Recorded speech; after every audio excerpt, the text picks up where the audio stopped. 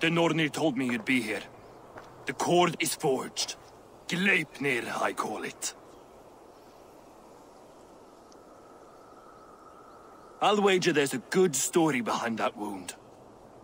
A tale for another time. Thank you for this.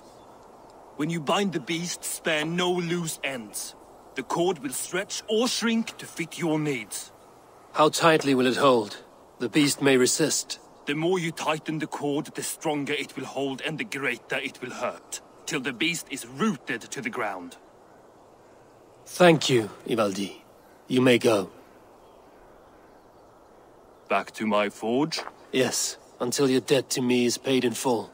It was the dwarves who made the world a trading post. At least we trade in goods, not people, slave master.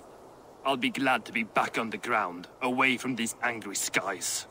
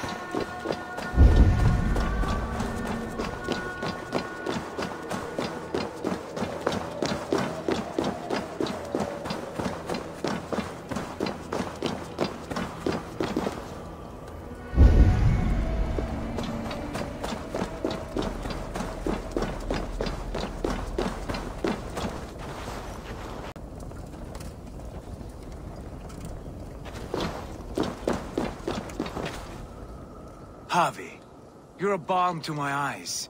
What happened to yours? A sacrifice for something greater. Is the wolf nearby? Yes, but he's grown. I have kept him company, but he's consumed by a sadness I cannot understand. Regrettable, but necessary. I knew from the start this wolf brought ill tidings. From the start it was a kind creature. But our mistrust and cruelty have robbed the poor wolf of its sweetness and life. Would it be a kindness to kill it, then? We are past the time for such mercy. This wolf has power now that would test our strengths combined. I fear he is possessed of a power that renders him ever-living. Then we will offer him a different fate. This cord is unbreakable. You must convince him to wear it. It will act as a leash, whose magic will signal that he is safely secured. An assurance to the Aesir who fear him. A beacon, that is all. No harm will befall the poor Fenrir.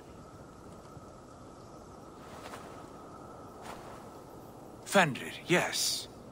You know the creature's name. Did Loki tell you? He did. It is a fine name. Yes. Dweller of the Fens. An apt name for his current fate.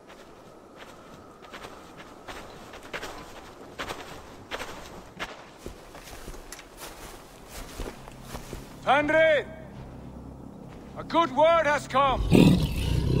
Leave me. I wish you well, Great Wolf. But a fear still hangs over Asgard. The Aesir worry about your growing size and strength. Now?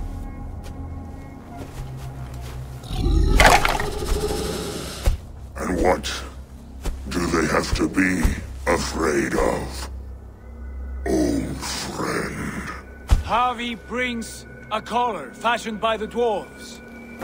A beacon. That we may track from a distance to know where you roam. Wear this, and you may live and thrive in Asgard. Without worry. I smell something sour. Wear the collar! Or return to Jotunheimer. There's no third way. Son of Loki. Have I not treated you with kindness? We are bonded, you and I. And as I trust my king, so you may trust me. Open your mouth. As a pledge of faith, you may take my hand if I am untrue.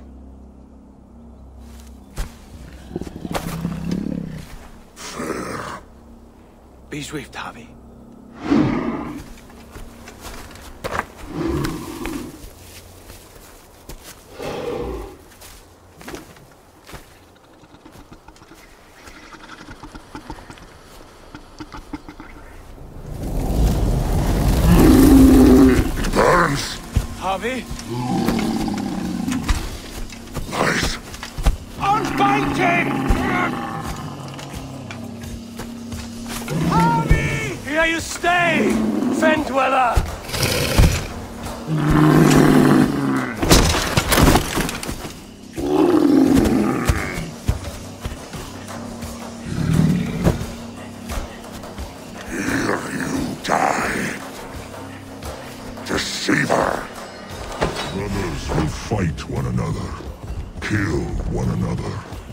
You speak in riddles. The home of the gods turns red.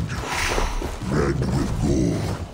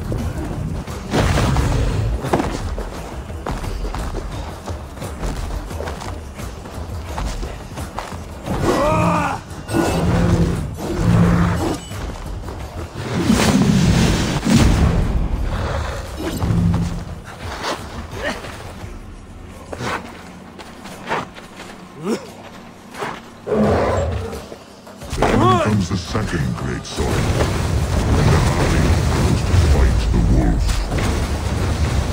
How do you know these things?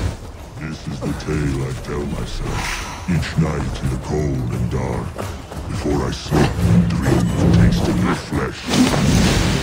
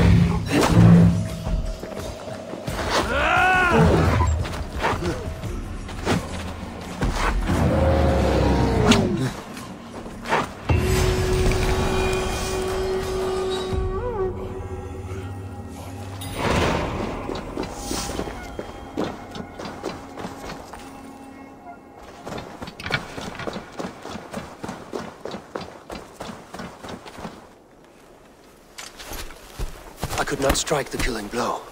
All my oaths remain unbroken. Anyone lesser would have succumbed to his hatred.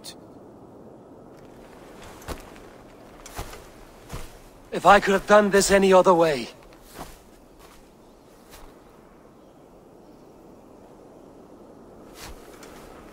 There was no other way, Havi. Our fates are fixed. Fate, I know. You made a great sacrifice on my behalf. It was not for you. Do not think your kindness has made you a new friend, Lord of Imbeciles. I will kill you, all of you, gorging on Aesir flesh. You may strike the final blow, son of Loki, but I will savor my years of freedom before we meet again. Come, old friend. The healing hands of Freya can help you.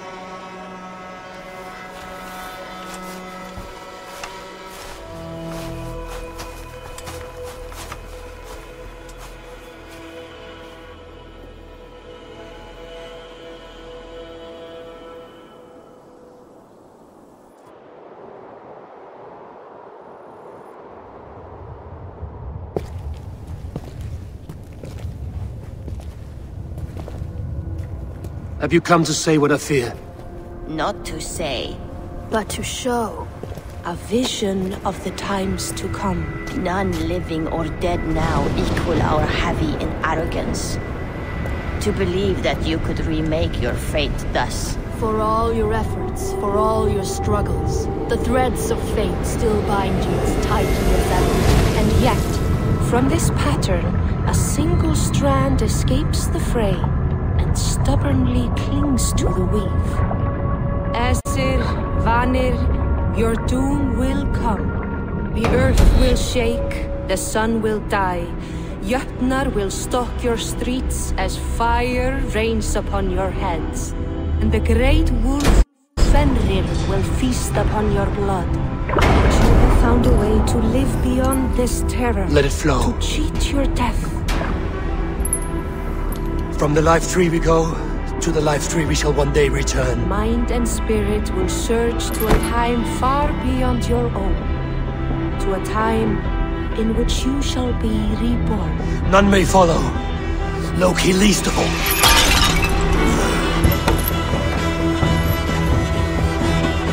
It is done. Time to face our end.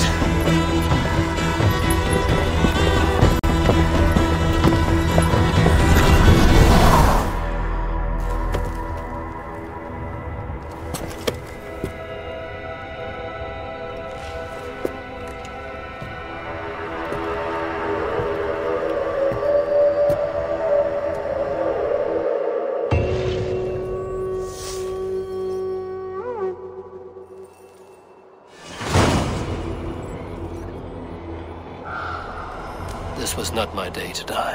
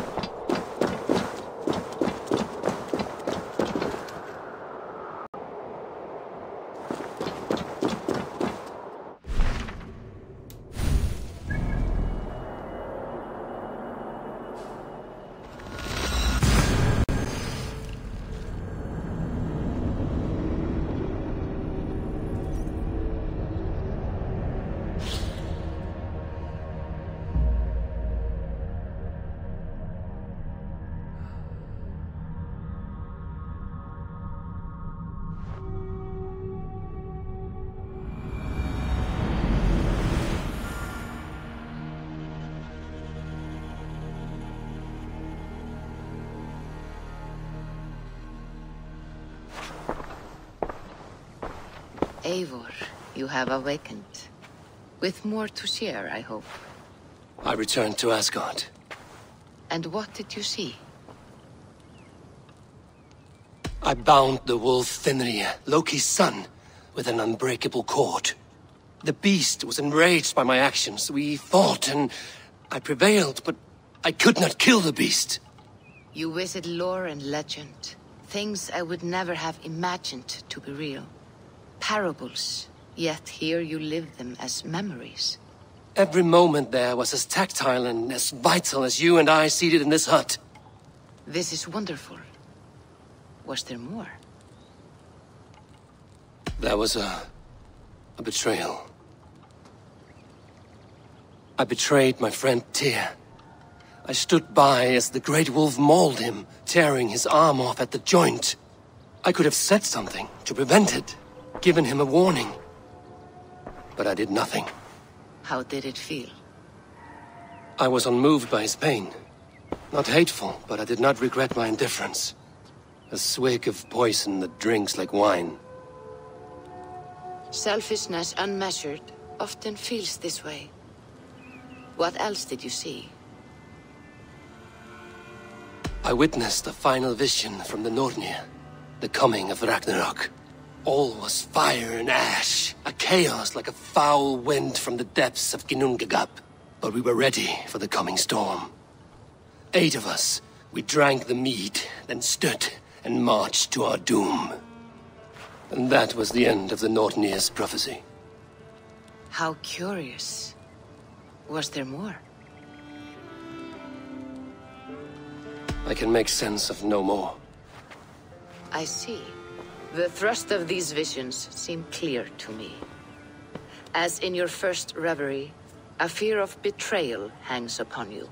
Odin has seen fit to gift you with his infinite knowledge, and the treasure of his experience. Perhaps his tale is a warning. The indifference he felt is a great pity. See that you do not follow this same road. To do so would risk a loneliness, a personal exile, worse than death. I understand. Or I hope I do. Thank you, Valka.